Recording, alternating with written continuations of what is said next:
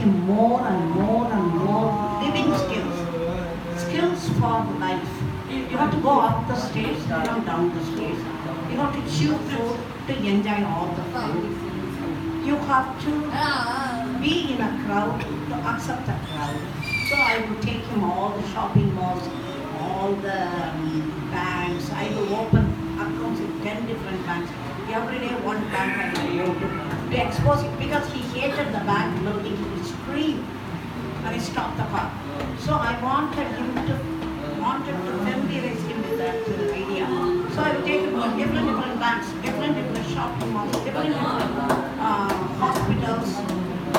I would take him to so many different places. So he got over the fear of new places, the new strangers.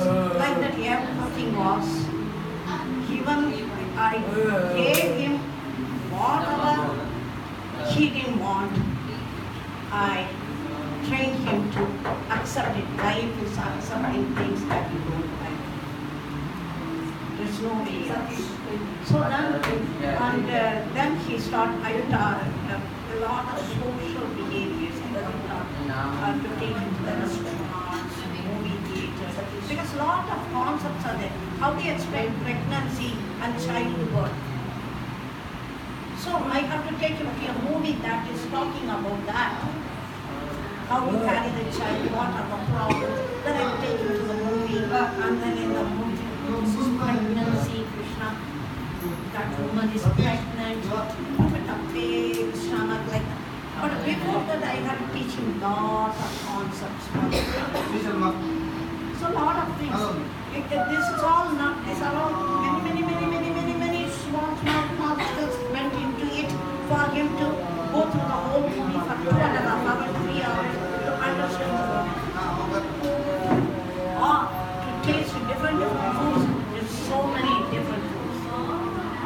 The texture of so many different materials, and then uh, these kinds of things. And then top, I had to teach him how to speak. First, he didn't understand speech. I thought so. At least I think book. My mom thought that I didn't understand speech, but I didn't understand everything she was saying. Poor mom thought that I didn't understand spoken language, but I and then what happened? Um, I gave speech didn't come. He didn't make any sound. Any sound. Not even ah. So I